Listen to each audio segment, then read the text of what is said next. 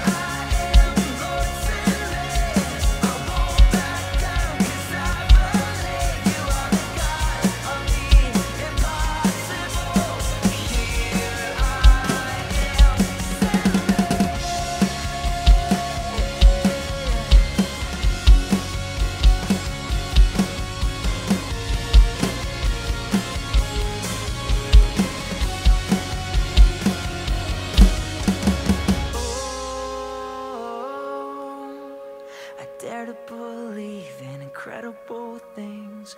Oh, cause you're the God of the impossible.